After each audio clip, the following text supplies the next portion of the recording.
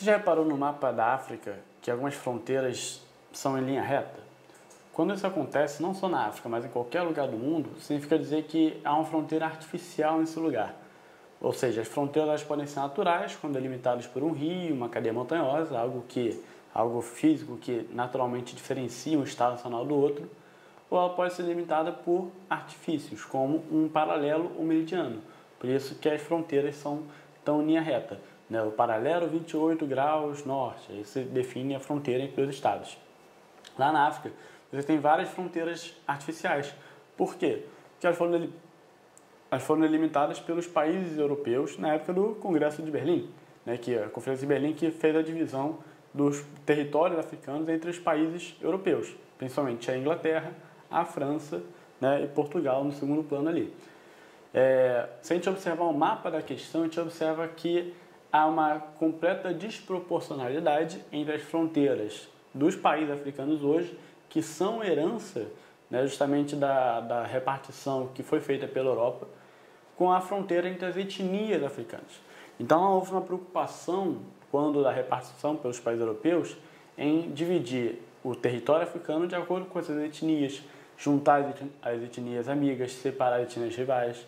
O que temos hoje como países africanos são heranças, na verdade, de uma divisão feita por um povo que não prestava atenção ou não queria prestar atenção quanto a essas diferenças internas da África.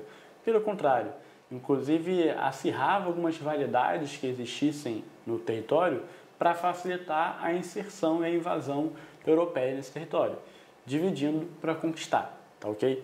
E essa, essa, esse mapa ele mostra exatamente isso. É, o que está em negrito ali é a fronteira dos países como ela é politicamente hoje, e o que está em cinza, claro, é a fronteira de acordo com as etnias africanas.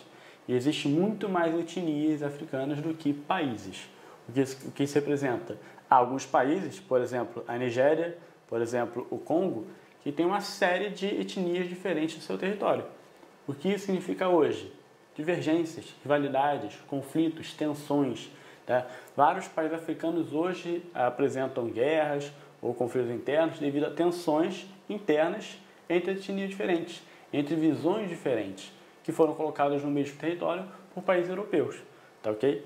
Então ele pergunta na questão: maior, na maioria dos países africanos, essa contradição provoca principalmente o seguinte efeito: que contradição? Entre as fronteiras estabelecidas pelos países europeus e as fronteiras das etnias. Qual é o efeito? Obviamente aí a instabilidade política. Um presidente de determinada etnia ganha uma eleição, outra etnia contesta, há um golpe de Estado, uma revolução, você cai em presidente, novas eleições são feitas, você dá ascensão a um líder autoritário, um ditador, enfim, tudo isso representa uma instabilidade política que infelizmente vários países africanos apresentam, não por uma herança específica, uma herança própria, mas como herança oriunda da colonização e do imperialismo europeu. Então, nosso gabarito é a letra B de bola. O Brasil tem uma grande quantidade ainda de vegetação nativa, né, florestas nativas ainda. O Brasil é um dos maiores produtores agrícolas do mundo inteiro. E o Brasil também é um dos maiores poluidores